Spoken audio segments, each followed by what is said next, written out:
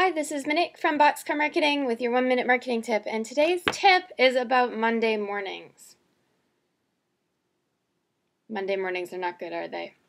We are so busy on Monday. Everything comes at you, and it's difficult to concentrate because you still have the leftover joy of the weekend and a certain amount of dread about the week. So, Today's tip is about how you concentrate on what you need to do or how you focus on Monday morning. And basically, you use the five more rule.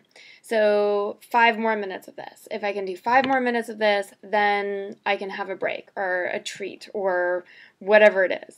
Uh, five more pages, five more problems, five more whatever. Just break down your task into tinier pieces so that you can think, okay, I'm just going to do five more, whatever it is.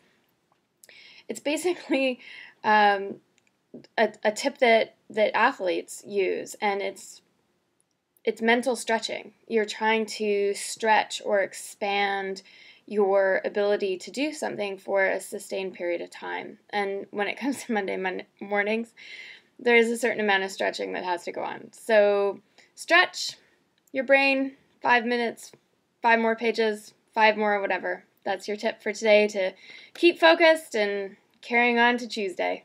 I'm Monique from Boxcar Marketing, and that's your one minute marketing tip. Thanks. Bye.